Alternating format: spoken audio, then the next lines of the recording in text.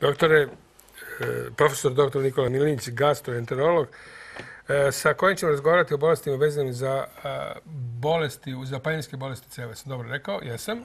Stalno plašim kako sam krenuo od ranije, kad smo se prvi put ovdje družili, pa sam, dobro, nek mi bude oprošten. Ali to je sve bolje ide, moram da vam kažem. Sve bolje, da. Sad, malo sam omanuo. I pripremio sam neke stvari, opet samo inicijativno, koje će nam možda dočarati ono što vas zanima, jednako koji mene, Kad ti neko kaže, kad su urolozi u pitanju cistoskopije ili nešto slično, onda kažeš, jo, čuo sam da to nešto nije ovaj, baš lepo iskustvo, pa onda da... E, ovdje ćemo da se, da se bavimo onome o čemu smo rekli u najavi, ali, boga mi, ćemo možda i pokazati animaciju, to znači crtano, ne kao zaista... Dobio sam neke diagnostičke da, metode, kako, kako doći to ide, do tako toga. Je. Da li je moguće da već imamo neko? Ajde, izvolite. Halo. Halo, dobar dan. Dobar dan, dobrodošli. Pozdrav iz lepog sunčanog Pirota. Opa, kako je tamo? Lepo sunce. Odlično. Sunce, lepo prolete. I šta kažete? ja bih zamolila doktora da mi odgovori na jedno pitanje. Pre mesec dana laparoskopski mi je odstranjena žučna kesa. Pa molim doktora za savjet o ishrani i o opštem ponašanju. Imam 67 godina osjećam se jako dobro, ali htjela bih neke još bolje savete. Hvala vama puno. La, laparoskopsko uklanjanje žučne kesice je vrlo elegantno, efikasno i omogućava da čovjek već posle praktično dva dana bude radno sposoban. Tako da vi možete živjeti jedan normalni život. Ono što pacijenti treba da shvate, ja to često govorim, da je žučna kesa u stvari jedan rezervoar žuči, znači sekundarni žučni put. Žuč teče E, i uliva se iz jetre gde se proizvodi u crevo, u tanko crevo, da bi masti mogle da se lakše upijaju u organizam. A žučna kesa samo drži dodatnu rezervu žuči da, da ubaci još malo da dopumpa kao jedna pumpica kada je veća količina potrebna ako je recimo neki masni obrok bio u pitanju. Zašto ovo govorim? Pa hoću da objasnim da bez žučne kese može sasvim normalno da se živi i e, posle jedne adaptacije kraće od, od prilike od jedno, tri do, do šest meseci, uh, vi nećete imati nikakav problem i hranit ćete se kao svaka normalna osoba, kao što ste mogli da se hranite i pre operacije, čak možda i bolje, ali nekome ako je smetalo zbog kamena u žučnoj kesi, mora da izbegava masniju neku bilniju hranu. Tako da ne očekujemo nikakve probleme. Samo 10% ljudi neposredno posle operacije u prvih mjesec dana ima takozvani post-holicistektomni sindrom, što će reći određene tegobe dok se organizam malo ne privikne posle vađenja žučne kese. Ništa dakle, dramatično. Normalan život, normalna ishrana, e, normalna fizička aktivnost. Pitali ste kako ponašanje? Kulturno. Dobro, ajde, idemo dalje, doktore. Možda ćemo mi da se dotaknemo i ove najavljene teme, ali da čujemo vas. Izvolite. Halo, Halo, dobar dan, Ešo. Dobar dan. Hvala vama što ste doveli divnog doktora. Evo, ja imam, doktore, problem. Ja sam prošle godine malo oko supruga ovaj, više radila, bila mi je bolestan od raka, izgubila sam ga, a i čini mi se da sada tek osjećam te želudačne tegobe. E, možda je ishrana, znate, ja sad i neredovno jedem, sama sam i slabije kuvam sebi i, i tako, ali toliko mučninu i oteklinu u želucu osjećam da verujte da da li je to cikiracije, da li je to, ne znam, e, da li vi, e, znate šta, ja bi došla kod vas, treba mi uput, ali da li e, treba da gutam sondu, to mi je, barium mi nije problem, ali sonda, doktora je, pa to, verujte, mislim da imam i štitnu žlezdu uvećanu sa, sa cističnu, sa nekoliko... Je li, ovaj... je li štitasta žlezda uvećana pre ili posle ovog stresa? Pre, velikog? pre je. O, ja to već 20 i nešto godina imam štitasta da, žlezda, znate, i, i doktori, ja idem na kontrole, ali ništa, ne daju mi nikakve, samo jednostavno... Jasno. Pa evo, kratko ću vam reći, e, velika je verovatnoća da su te gobe povezane sa tim velikim stresom koji ste imali. Ja sam ovaj, baš to dosta često i objašnjavam da te tegobe u trbuhu, bilo da su u crevima ili u predelu želuca, imaju svoj dvosmerni uzrok, dakle dvojak uzrok. Uzrok može biti na mestu gde imate tegobe, dakle u samom želucu u slučaju recimo da postoji neko zapaljenje, čir ili slično, ali u ogromnom procentu slučajeva, praktično recimo u 50%, problem je u psihiji, odnosno u glavi. Zašto? Zato što jedan kontinuirani i veliki stres koji postoji, kao što je kod vas bio slučaj sigurno, bez ikakvog razmišljanja, dovodi do toga da mozak zbog problema koje ima pokušava da to prevaziđe time što brojne metaboličke aktivnosti utrobe, gde spada i želudac i creva, preusmerava ka sebi. I krvotok i ostale ove, energetske protoke ka sebi, gde onda malo ti svi organi pate i posle dugotrajnog stresa nastaju i počinju da se pojavljuju problemi u trbuhu. Jer mi trbuh u stvari zovemo drugi mozak. Zato što samo mozak ima više nerava nego što ih ima trbuh. Trbuh ima čak više nerava nego što ih ima u kičmenoj moždini.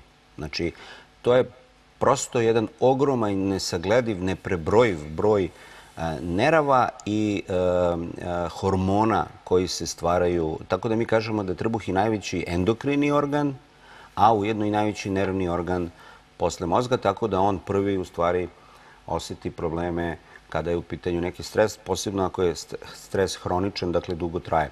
Šta treba da uradite? Pa da se javite lekaru, da vam kažem, taj lekar će možda vrlo lako, govorio sam ranije o tome, proceniti ako nemate takozvane alarmantne simptome koji pobuđuju posebnu pažnju, možda odustati od toga da vam radi gastroskopiju. Dakle, možda ona uopšte neće biti potrebna. Možda ćete vi samo dobiti određene lekove i onda će vas lekar pozvati da dođete na kontrolu za mjesec dana da vidi kako ste. Ako sve bude bolje, ako ste vi dobro, onda nema nikakve potrebe da se dalje radi neki pregled. Ne, ne radimo mi svakome gastroskopiju ko se požali na bol u trbuhu ili, ili nekakve slične tegobe ili mučnine. Mučnine i mogu imati mnogo, mnogo, mnogo uzroka, a jedan od najčešćih uzroka mučnine upravo je stres.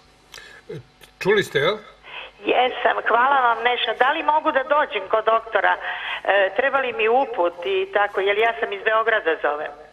Pa uput vam uvek e, treba, ali ako imate nekih problema sa zakazivanjem, pošto ste se identifikovali ovde, vi se javite meni, ovaj, ponesite uput pa ćemo vas upisati i bit će sve u redu. Nismo mi pitali kako se gospođa zove, ali sad... Ja sam Jadranka, Jadranka se zovem.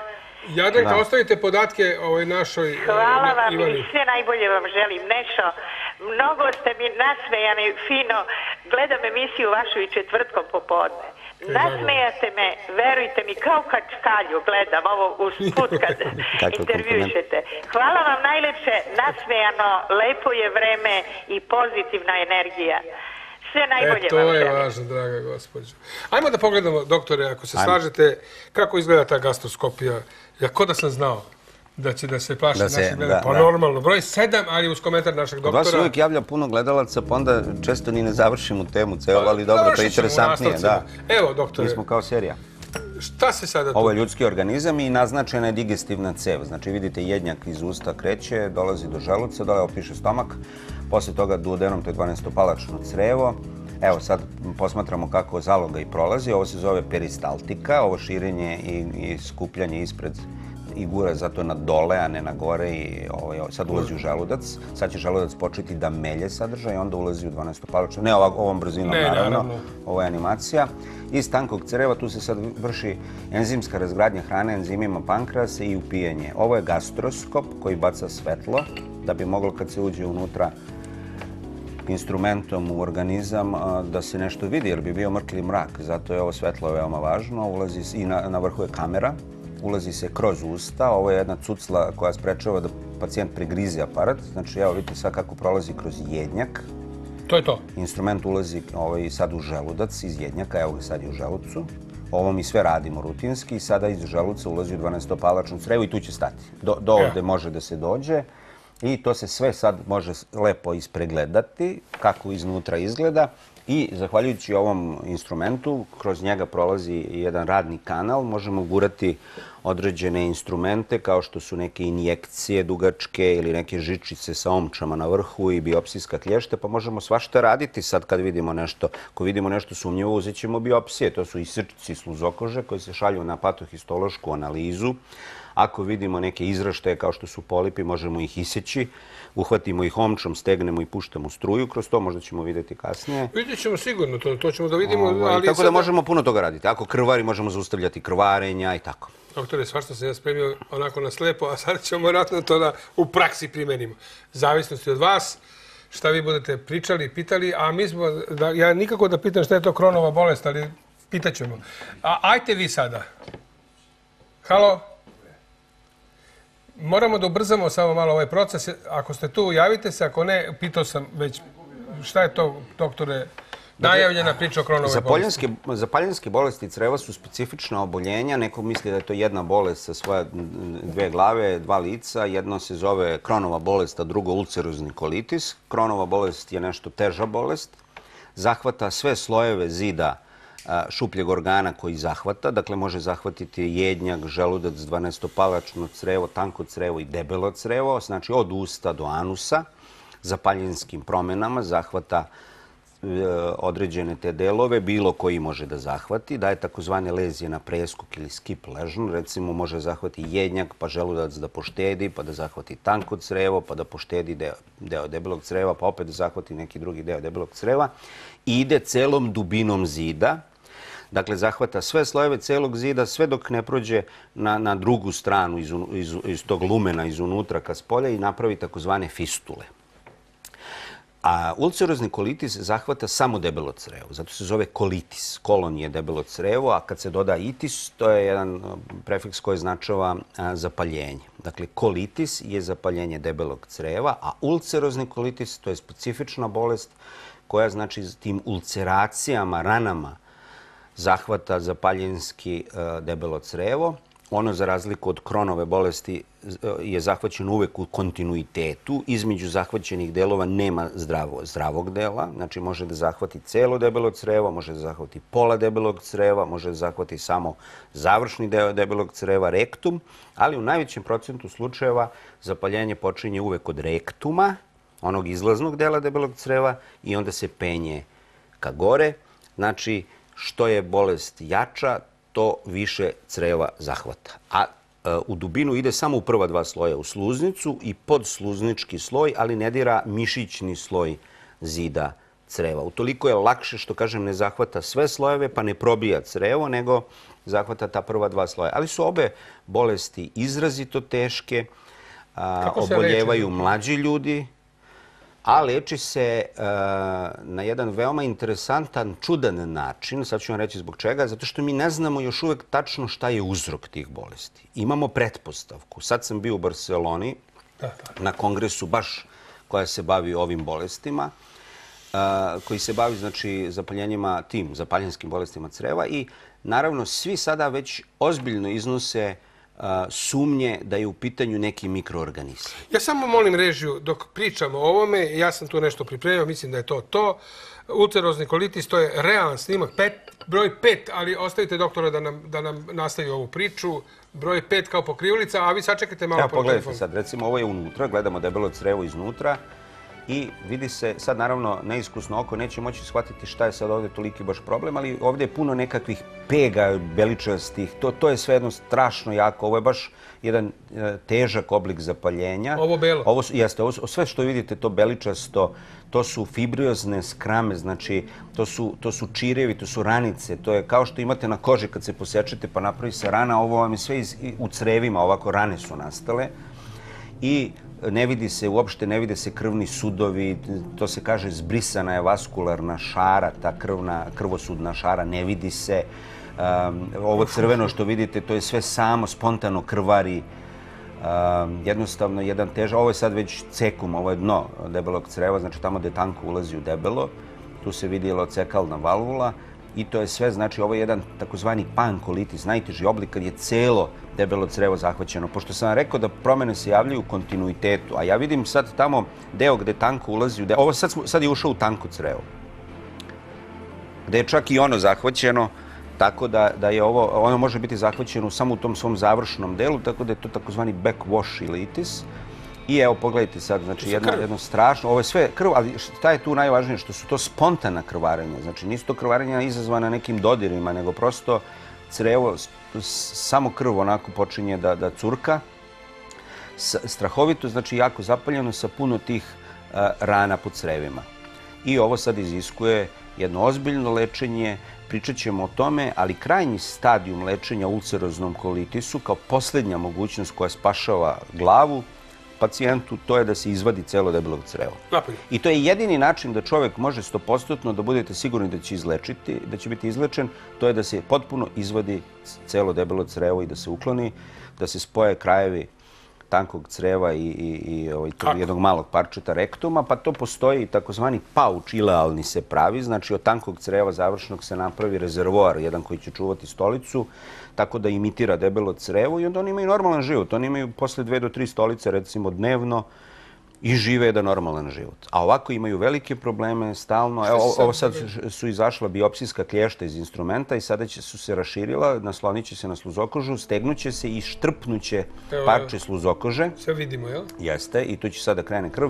To je jedan od testova koliko je jako zapaljenje dodir biopsijskim klještima. Dovoljno je da se samo ovako pipne I kad vidite da krvari, da kreće krva, samo malo dodirnete, to znači da je to jedan teži oblik zapaljenja. I ovo je sad biopsija. Dobro, ovo nije problem, to, to će se srediti. U svakom slučaju sad se ovi uzorci sluzokože koji su uzeti ovim klještima, nekoliko njih mora da se izvadi i to sa različitih delova debelog creva, pa da se u posebne bočice postavi. Onda se sve to obeleži iz kog je tačno dela debelog creva uzeto. Šalje se na jednu ozbiljnu patohistološku analizu detaljnu i onda pacijenti dobijaju nalaz precizni posle nekoliko dana kad se ovaj, rade svi ti pregledi i onda se tačno kaže koja je bolest u pitanju, jer ove dve bolesti što sam govorio, kronova bolest i ulcerozni kolitis, mogu biti jako slične, posebno ako je kronova bolest zahvatila debelo crevo, onda se zove kronkolitis, onda je ona strašno slična ulceroznom kolitisu. I samo biopsijski može da se razlikuje šta je u pitanju i uh, onda mora da se vidi koji je stepen, koja faza, znači koji je intenzitet tog zapaljenja, da bi mi mogli posle da znamo šta da radimo i kako da lečimo pacijenta. Ja sad samo da vam kažem, da odgovorim, pitali ste me kako se leči. Kako se čudo Pa problem je kad ne znate uzrok, kad ne znate šta je dovelo do toga, onda prosto imate problem kako da lečite pacijenta. E sad, razvijena je jedna uh, vid terapije, najbolje trenutno, to je takozvana biološka terapija. To su određeni faktori koji, koji proizvodi živa ćelija i to su neki faktori koji koče odbranu našeg organizma. Dakle, ako, se, ako bude tačno da je neki mikroorganizam uzročnik, što se sad pretpostavlja, mi ćemo, kad budemo saznali koji je, moći vrlo efikasno ovu bolest da izlečimo tako što ćemo njega uništiti. Međutim, pošto sad ne znamo šta je u pitanju, to je pretpostavka da je on, suština je, a to mi znamo, da je ovdje problem što naš organizam previše burno reaguje na nešto, pretpostavljamo taj neki mikroorganizam koji ne znamo šta i onda sam sebe uništava. Ovo sve što smo sada vidjeli na ovom snimku, posljedice je u stvari delovanja našeg odbranbenog sistema na sobstveno crevo.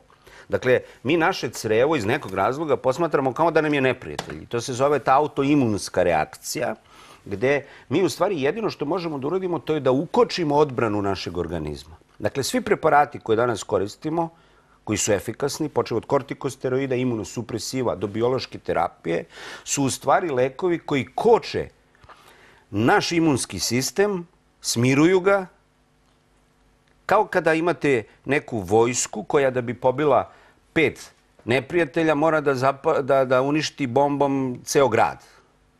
Razumete me? Pa znači, znači, ovdje grad. skuplja dara nego mera. Organizam se previše burno bori protiv nečega što nam ne bi veliki problem napravilo ako ga ne diramo, a mi onda sve raspoložive mehanizme odbrane naše koristimo da bismo to uradili. Pogledajte kakvu katastrofu napravimo u sobstvenim crevima. To je, to je jedan neviđen paradoks u medicini i kažem, danas najefikasnija terapija koju imamo je takozvana ta biološka terapija koja prvenstveno deluje protiv takozvanog tumorne krotišućeg faktora alfa. Dakle, od svih različitih tih uzrokovača zapaljenja nađeno je da je taj TNF najvažniji, da on pokreće najveću kaskadu odbrane našeg organizma i kad njega ukočimo, onda pustimo praktično sobstveno crevo je polako počinje da zarasta i da se oporavlja. Odlično.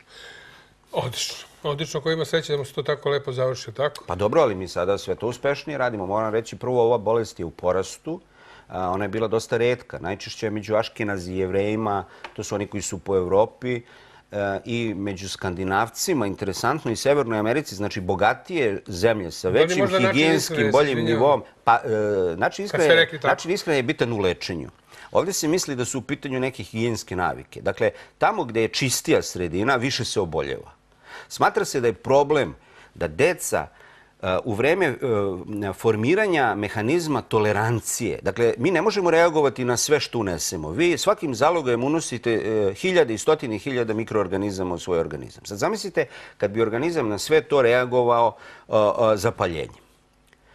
Znači, mi razvijemo još u detinstvu takozvani mehanizam oralne tolerancije. Dakle, tačno organizam zna šta treba da pusti, a da na to ne reaguje.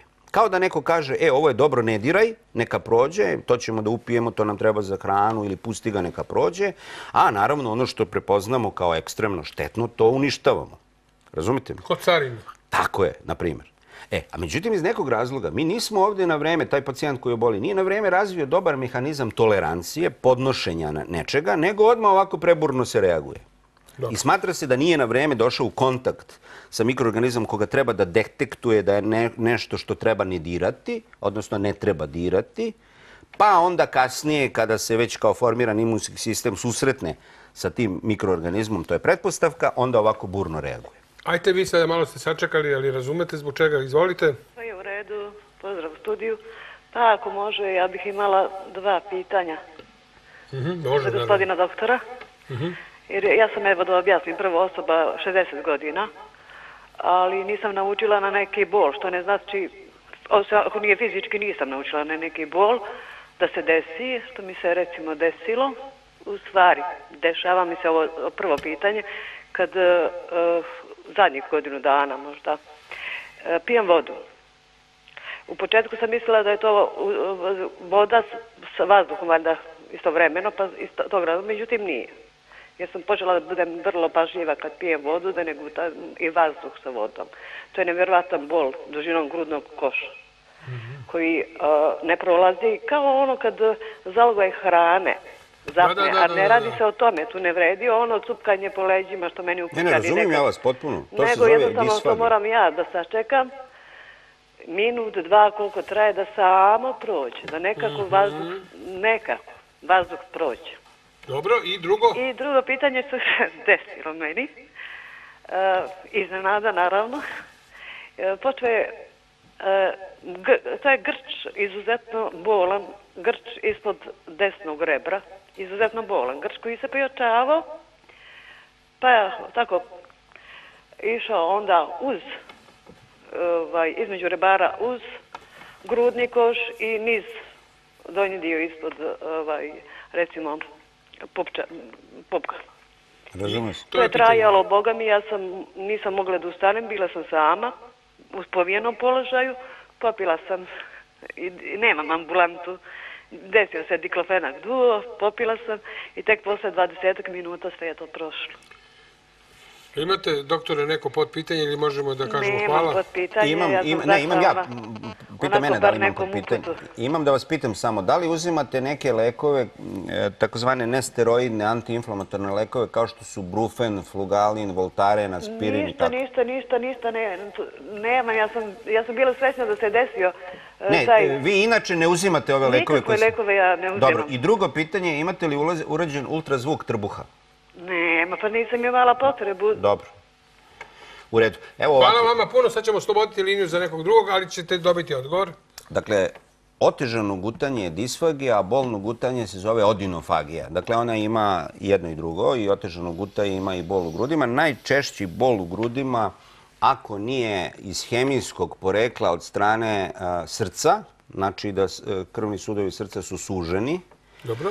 pa da ne hrane dobro srce pa se javlja bol. Najčešći bol u grudima, ako nije, kažem, tog porekla e, od strane srca, je od strane jednjaka. I upravo evo ovo što gospođa priča, nije to nama ništa neobično, znači to su često ti problemi sa, sa gutanjem, mogu da budu problem funkcionisanja i povećane senzibilnosti, takozvane hipersenzitivnosti jednjaka. A, to može efikasno da se ispita. Mi imamo testove kojima radimo takozvanu manometriju i pehametriju. Meri se pokretljivost jednjaka i ovaj, registruje se kad se taj bol javlja i onda može efikasno da dobije određenu terapiju. To su u principu u osnovi funkcionalni poremećaj. A, tako da po ovome što ona opisuje, sad to ne deluje nešto da, da, da, da gospođe treba mnogo da se uspaniči ali zahteva da se javi lekaru jer pregled jednjaka je prvi korak koji mora da se uradi čim neko prijavi otežano gutanje i bolu jednjaku. To je pod jedan. Ovo što se desilo u trbuhu ne mora da ima veze sa ovim i potrebno je da se uradi ultrazvuk trbuha, da se isključi prisustvo kamena u žučnoj kesi, jer to najviše liči na kontrakciju žučne kesice.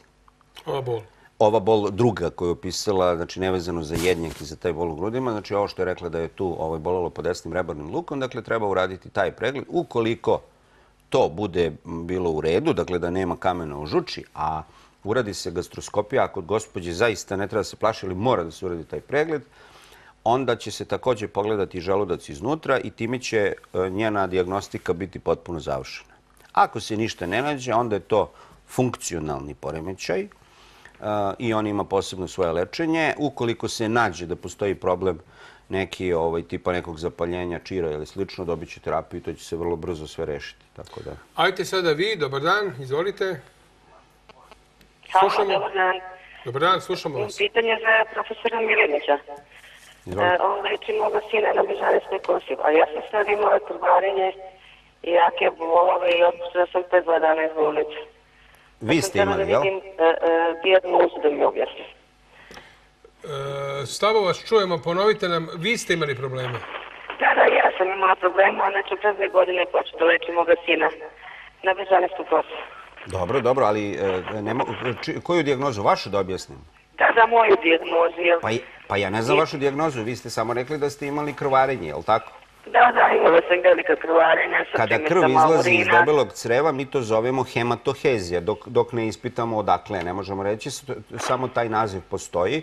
Mora da se uradi kolonoskopija. Dođite kod nas, slobodno uradit ćemo pregled i završit ćemo to vrlo brzo. I sad molim, molim našu režiju u ovom trenutku kolonoskopija za vreme i posle intervencije da vidimo kako to izgleda. Doktore, e, možemo da gledamo ovu animaciju, ali vas molim da se malo posvetimo i nekim drugim e, stvarima zbog čega se radi i kada se radi kolonoskopija, kada, se, kada je to indikovano. Evo, u Evo gospođa je lepo rekla, znači... E, broj četiri, da, da, da, broj četiri, pošto imamo, ja se izvinjam reži, ali broj četiri, to je malo duže, pet minuta, mislim, traje, ali sasvim dovoljno da doktor može da ispiča... Vidim ovdje piše, kaže, ja nisam imao prilike da gledam šta se dešava za vreme i posle kolonoskopije. Ovo Brown je debelo crevo ono dole rektum i onda ide... Ovaj, ide ne, evo sam vas iznenadio to da znate, pa dobro, prvi put.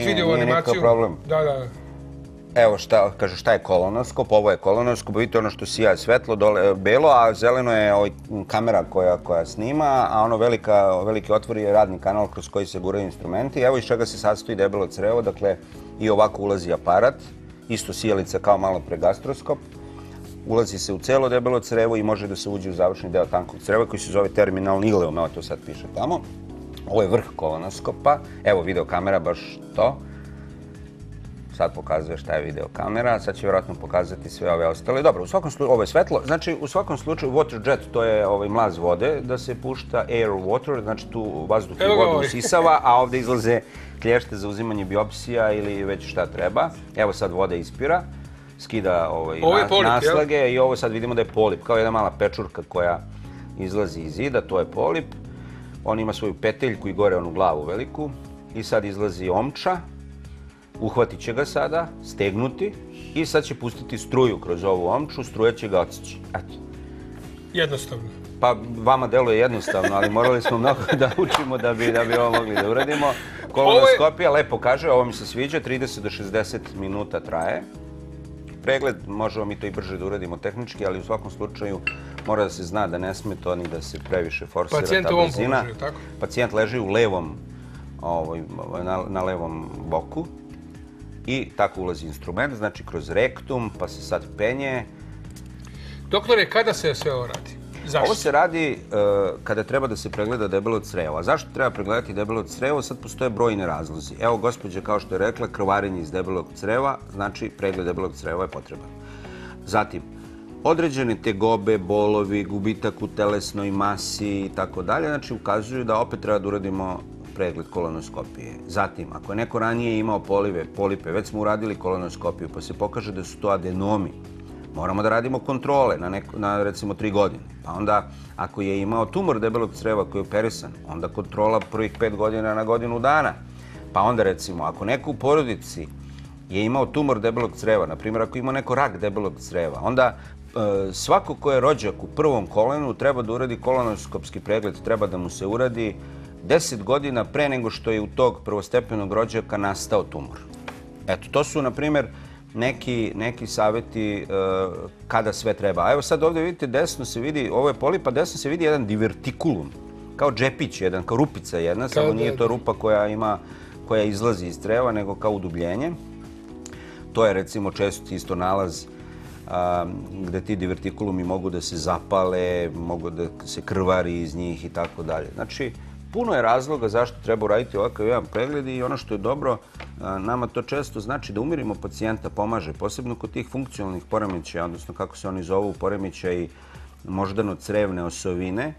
Pacijent je pun strahova, evo ga sad ovdje je izvađen polip i stavlja se pod, napravi se posebe jedan preparat, onda se on postavi pod mikroskop i onda se tačno može gledati Ehm, kako to izgleda. Sad pacijent, to mi imamo recimo na Bežanijskoj kosi, taj recovery room, sobu za oporavak, gdje pacijent kad se uradi pregled leži neko vreme dok se dok se ne oporavi i ako je posebno ako je rađena ovaj, pod anestezijom, ako je pacijent bio uspavan, onda mora jedno sat, dva da se sačeka da se probudi. On ne sme da dođe svojim automobilom jer ne sme posle anestezije da voze, već mora neko da bude tu ko, ko će moći da ga ovaj, otprati do, do kuće. Dobro, videli smo ono suštinski važno. I evo sad, ovo pokazuje sad kako pacijent dobija posle patofitološki izveštaj, šta je tačno, koja je priroda tog oboljenja. Jer mi ne možemo, kad skinemo polip, tačno znati šta je. Nekada je, nekada je tu rak u pitanju, a nekada je to običan hiperplastični polip koji čak ne treba nikakva ni kontrola posle da se radi. Dakle, to će nam odgovoriti patohistolog kad preparat bude pregledao pred mikroskopom, pošalje nama taj izveštaj, a mi onda to predamo pacijentu i objasnimo mu šta smo našli. Ovdje je nešto štiglirano zeleno, kaže sigurno. Znači, nema nekih uspojava, jel? Pa postoje komplikacije, ali one su redke. Mi smo dosta uvežbani. Znate, kad je neko istreniran, ovaj, kad, kad lekar je uradio puno kolonoskopija u životu, onda je naravno mnogo bezbedniji pregled. Ne kod nekih početnika, ali svakako šta može biti komplikacija pregleda? Pa najopasnije su perforacije, znači da se probije crevo. S tim što nekada postoje creva koje su sama takva vulnerabilna da ih je vrlo lako probiti. Posebno, evo, gledali ste recimo kod onih ulceroznih kolitisa kada je crevo istrošeno, zapaljeno, stanjeno, još ako postoje ovi divertikulumi, ti džepovi, onda je vrlo lako da, da, da to crevo može i samo da prsne, ne mora da, da ga instrument ošteti. Pa, da vam kažem, kod tih manjih perforacija možemo mi da ih rešavamo tako što stavljamo neke klipsove, metalne štipaljke i zatvorimo taj otvor, pa to zaraste. A kod, kod većih perforacija, pa pošalje se na hirurgiju i hirurg to zašije. Nikad niko nije umro od toga, mislim, kod nas. Tako, a i vrlo redko se to dešava, mislim. Ali... Dobro, naravno, ovdje često pričamo i često savjetujemo naše dame da redovno odlaze na preglede preventivno, dakle da bi se predupredile one komplikacije tipa rak dojke, rak ne znam, mat, grlića materice i tako dalje. Jajnika. Jajnika, tako je, bravo. Ali ovaj, kada ste vi u pitanju, vi to nemate podelu na muško-žensko, nego jednostavno svi su podložni ovim bolestima, bez obzira, ili kako to sad ide? Da, ne, ne, mi nemamo podelu na muško-žensko, ali imamo screening program, ovaj, ponosan sam na njega, već godinama radimo posebno sa saradnji sa Domom zdravlja Novi Beograd i Zemunom, znači e, pacijenti budu pozivani da se uradi taj e, fekalni e, ovaj, test na okultno krvarenje. On se zove FOBT, skraćeno da znaju pacijenti kad dobiju onaj izveštaj FOBT. To je Fecal Occult Blood Test, znači prisustvo mikroskopskih tragova krvi koji se ne vide golim okom u stolici. To se detektuje. Tri takve stolice se daju, tri uzorka. I ako se nađe da je nekome pozitivan, bar jedan znači da postoje tragovi krvi u stolici, onda on dolazi kod nas na Bežanijsku kosu i mi uradimo kolonoskopiju. Ne treba da se plaši svako ko ima prisustvo krvi u stolici, jer to najčešće bude od hemoroida, od šuljeva. A to, je, to su nabrekli krvni sudovi oko anusa, oko čmara. Znači, nije to ništa strašno. Onda ovaj koji imaju divertikulume, posebno stariji ljudi, oni će imati isto tako prisustvo često tih mikroskopskih čestica krvi u stolici. Ali ne treba toga, mislim, kako da vam kažem, ne treba se uvek plašiti kad se vidi taj nalaz, da je, da je recimo prisutna krv, ali s druge strane ne treba ni reći, ma nije, to mi je samo od hemoroida. Znači, prosto treba da se obrate posle toga lekaru. I mi imamo um, taj jedan program, screening program koji, koji se radi vrlo ozbiljno. Lekari pozivaju pacijente da dođu, da se uradi taj screening i čim nađu pozitivan nalaz, pacijent se upućuje kod nas i mi imamo po prioritetu zakazujemo kolonoskopiju i radimo pregled debelog creva. Danas smo pokazali kako to izgleda. Možda ću kasnije da, da zamolim doktora da pogledamo još jedno skraćeno izdanje toga, nekih minut i po samo. Pa da, meni to interesantno baš da vidim, ali nisam odem. Doktor, koliko ste uradili do sada? Da li se zna? Pa ne znam, strahovito mnogo, ali ja sam počeo da radim na drugoj godini specializacije, a to je bilo 91. drugi sam počeo da radim, eto. Znači, dosta, dosta imam iskustva. Sve ogromno iskustvo. Pa Ajmo sad da pričamo malo ako to moguće kada je vaša, i koliko je moguće o prevenciji. Šta da mi radimo Da li je gojeznost možda utiče na nešto? Evo ja sam ovako malo popunjeniji, pa ozbiljno spitam, šta je to što utiče na to da se neko, da neko zaglavi ovaj, sa problemima bilo koje vrste, pa evo, kad je vaš kad su Prvo, kad su zapaljenski bolesti creva u pitanju u kojima u osnovi govorimo, onda tu ishrana nije uzročnik, ali je nešto što je veoma važno u sprovođenju lečenja, u terapiji. Znači, kad me pacijenti pitaju šta da jedu, da li imam da im dam neki savjet, najčešće mi ne dajemo nekakve posebne preporuke za ishranu u najvećem broju bolesti. Ali u ulceroznom kolitisu i kronu obavezno. Znači ovdje oni moraju apsolutno da se pridržavaju ishrane. S druge strane, gojaznost eh, eh, se opet vezuje za nekakav faktor rizika za određena oboljenja i bilo je dosta špekulacije o tome koliko gojaznost eh, predstavlja faktor rizika recimo za nastanak raka debelog creva. Međutim, to nije nikada eksplicitno dokazano, ali je učeno nešto drugo. Baš sam skoro pričao sa jednom koleginicom čija čerka radi doktorat na hirurgiji sa obolilima iz karcinoma, od karcinoma debelog creva i ona je našla e, ovaj, da e, je primećeno da se tumor dosta često razvije kod pacijenata koji su bili gojazni pa naglo mršave. Aha. Na primjer, naglo, rapidno sprovode neke te rigoroznije dijete. Što je dokaz, mislim, u svakom slučaju dokazat će se sad šta je, stoji iza svega toga, ali u svemu treba biti umereni postepen, jer bolji su rezultati koji su sistematični i postepeniji nego kada neko, neko nešto naglo uradi, jer onda su česti, ako ništa drugo, onda takozvani rebound fenomeni, jojo fenomen, gde sad ponovo se sve vraća u još svom gorem obliku.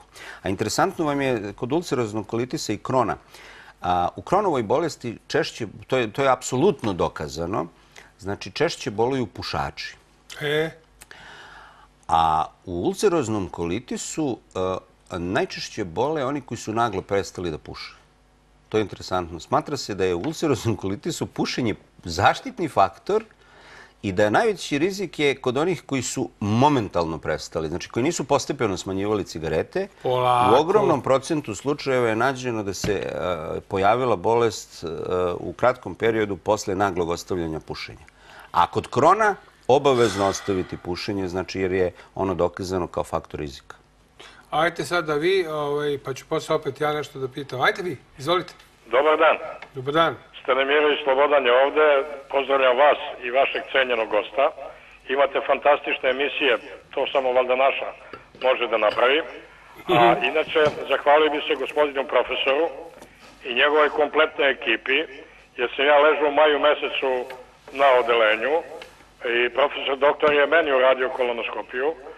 Mogu da kažem da se kao bolesnik zahvaljujem doktoru na to je za mene bila bezbolna neki kukaj da to mnogo boli.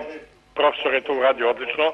Ja nisam osjećao nikakve bolove i ovim putem želim se zahvalim prvo njemu kao visokom stručnaku najvjerovatniji u svetu i u Srbiji i da se zahvalim kompletnom njegovom odelenju jer su svi izuzetno zlatni. Od servirke do, do lekara odelenja i tako. Tako da mi je drago što sam ga video jer sam izvršio operaciju debelog creva, sad sam trenutno ovaj, kući, pošto sam mlad čovjek preko 70 godina i tako. E sad polako, nemojte da mi bežite sad ni pod rastu. Zašto? Zato što želim upravo da nam vi, kao neko ko je to sve doživao, mi smo pokazivali ove animacije. Animacija je crtani film, da se mi sporazumemo. Ali vi ste sada živi svedok. Molim vas, zarad svih onih koji se možda i plaše, a trebalo bi u velikom procentu da svi posjetimo doktora ili ekipu sličnu, da vidimo šta, šta nam je i kako nam je. Pa je taj strah od bola neki faktor koji nas koči. Hajte nam još malo pojasnite šta ste i kako ste sve to doživjeli. Šta, pa kako ide procedura? Meni, meni je, ako dozvolite, meni je rečeno kao i drugima, normalno ne od lekara, nego od nekih drugih, da to boli, da treba šta je za ovako i onako i tako dalje. Međutim, kad sam ja otišao na pregled gastroskopije i kolonoskopije, I gastro, nijedna i ta, ovaj, da ne kažem, taj pregled, znači nijedan taj pregled za mene nije bio bolan. Jeste neprijatan u nekom smislu, ali ne boli. Bukvalno mene nije bolelo. Ja ne znam ostale da li je bolelo, mene nije. Mnogi ljudi se plaše, pa možda taj strah izaziva neku ja bih rekao, e, stegnut mišić, ili već ja nisam medicinski radnik, ne znam šta je to, ali najvjerojatnije da se od straha nešto događa i kroz grlo kad prolazi gastroskopija i kada se radi preko rektoma kolonoskopija, najvjerojatnije da je neki strah u pitanju, te ljudi zbog toga ovaj, osjećaju neki bol. Ja lično nisam osjetio nikakav bol i duboko sam zahvalan i lekaru koji mi je radio ovaj, gastroskopiju, a i gospodinu profesoru koji mi je radio kolonoskopiju. Tako da sam svima njima izuzetno zahvalan, što kažem vam do groba. Sad ja da zahvalim vama zato što, nažalost, ovo je dosta redko da se neko javi i da pohvali nekoga. Obično se ovaj, o lekarima govori u, ovaj, u medicinskom osoblju u drugom ovaj, kontekstu, a, a ja mislim da je ovo vrlo pošteno i korektno rečeno, jer mi se zaista e, trudimo tako da radimo. Dakle, ne samo ja kao načelnik podelenja, već i doktor Goran Nikolić, koji je recimo šef endoskopije, doktor Igor Jovanović, Džemal Kisvani, znači naši endoskopisti. A, tako da pratimo svetske trendove. Jedna smo najboljih endoskopskih jedinica u zemlji. Posle kliničkog centra imamo najveći broj endoskopskih pregleda i intervencija. Moram da kažem i da smo dobro opremljeni i, i zaista mislim da je fair da ovako neko nešto kaže a, i to spontano, eto, da, da se tako javi a da ovaj da ljudi da ljudi zaista treba da imaju poverenje u nas. Ja sam isto nedavno na jednoj televiziji govorio da da ljudi često imaju pogrešne predstave, da mi zaista hoćemo da im pomognemo. Najveći broj lekara, ako ima problema, to su pojedinci i da treba da nam se uvek obraćaju dobronamerno i sa poverenjem i mi ćemo zaista da pružimo sve ono što smo naučili, sve ono što znamo i što možemo. Sad moj još jedno pitanje, molim vas, ste tu? Recite, tu sam. Da li ste, ali najiskrenije, da li ste po nekoj preporuci otišli kod doktora ili u, u ustanovu ili ste sami od sebe otišli i naišli na sve ovo o čemu pričate? Pa vidite, ja sam imao, ja sam imao uh, jedan problem koji se vuče skoro dve godine. Vuko se skoro dve godine. A to je? I onda sam, i onda sam zamolio lekara opšte prakse da mi da uput da bi išao na ovaj, gastroenterološko odalenje. Kad sam došao tamo, pregledi su izvršeni u roku od 7-10 dana i ja sam u bukvalnom smislu imao kompletnu situaciju šta se meni događa. Što sam se posebno iznenadio, normalno to uz pomoć profesora i doktora koji tamo rade. Pa to hoću da kažem, niste poznavali ranije pa kažeš... Ne, ne, nisam, ja, ja sam se prvi put sreo sa tim odelenjem i sa tim medicinskim osobljem u životu. To mi je važno. Tako da, tako da mi je u, u bolnici bilo kao kod kuće. E? I vidite što je najveći, najveći ovaj, mene, za mene iznenađenje bilo, kada je moj doktor Igor Jovanović, inače lekar ko, koga je malo prespomenuo ovaj, e, profesor, on je bukvalno obavestio hirurga da dođe na odelenje da me pregleda.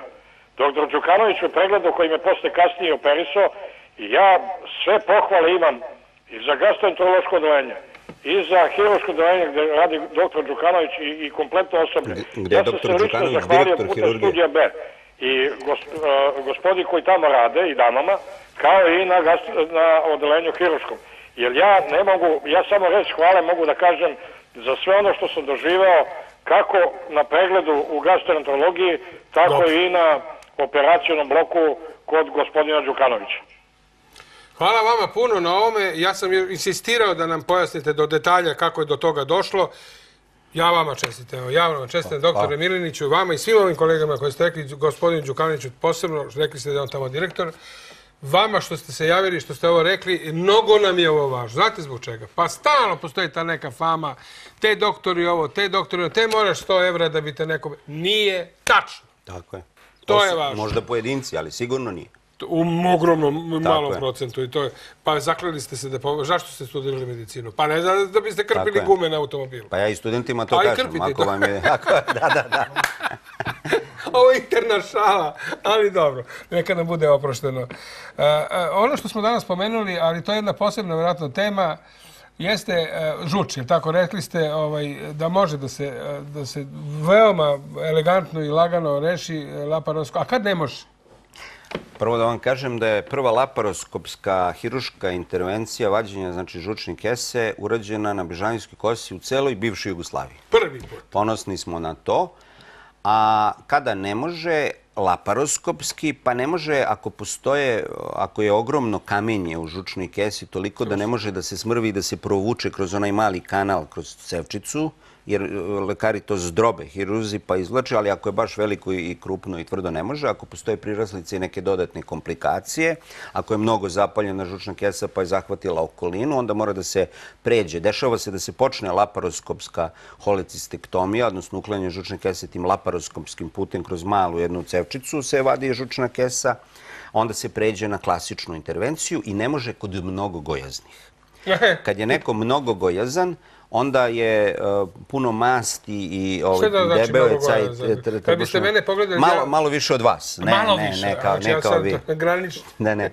Ne, ne, ali šalu na stranu, kad su baš onako postoje ti, ti ovaj, jako gojazne osobe koje ima, Ekstremno onda ne može, prosto ne može laparoskopski da se priđe previše kratka laparoskopska cev u odnosu na debljinu tog trbušnog zida, jer ima puno masti, onda se njima savjetuje, ako baš insistiraju Da se radi laparoskopski, da prvo oslabe. I uopšte je hiruška intervencija svaka teža kad je, kad je čovjek mnogo debeo. A što? Pa Zbog toga što je trbuh e, ovaj, previše je, e, masti ima, znači taj, e, recimo, trbušni zid može ovako da bude a, debeo, znači sa svim svojim slojima kožom, podkožom, tkivom, mišićima. Dobro, a može ovako? A, a može da bude recimo ovako. Pa znate i vi... Pa šalim se doktor, Da. nego ja branim debele malo. da. Pa dobro, ima to, ima svojih prednosti. Evo, evo, evo recimo e, gde je u prednosti ovaj ko je gojazan. To sam skoro o, pričao, neko pitao. Ako bi se kao u onom Lost seriji pao avion, pa bolje biti gojazan nego mršav, jel tako, ako dok ne nađete hranu? Doktore, ovako smo film. E, znate šta sam još kod ovog mrljenja, ovog kamenja? Pa ste razmišljali o saradnji sa koridorima Srbije? Imaju tamo one droge? Treba im materijal. Može. Ne, vama treba mašine. Da, a njima materijal. Za mrljenje. Toga, drago mi je bilo. I mene isto, posebno zadovoljstvo. Pa nadam se da nećemo sad... A, do duše mi moramo da sačekamo. E, sad ste bili, kažete, u Barceloni. Kako su u tom smislu planovi? Idete negde na neki seminar? Pa uvek ima, evo, ovo što mi je posebno drago, imaću jedno predavanje na Zlatiboru kraja meseca, imaću 24. mislim u Skoplju jedno predavanje i treba da idem u Madrid, valjda krajem sljedeće nedelje. A mi smo danas bili privilegovani što je doktor, profesor, profesor doktor Nikola Milinić bio sa nama ovdje i što smo imali priliku eto da prisustujemo jednom od predavanja, ali vidite, na naš specijalan način. Svi ste pitali šta ste šteli, odnosno što vi koji ste uspjeli da se uključite, ja ono što sam spremio, nadam se da vam je bilo, ajde ne mogu da kažem zanimljivo, ali korisno. Doktor, još jednom. Hvala i vam. A vi imate lep vikend i u šetnju, znate, vi debeli, pogotovo. Hajde mi mi da prošetimo. Mislite, a? Ne.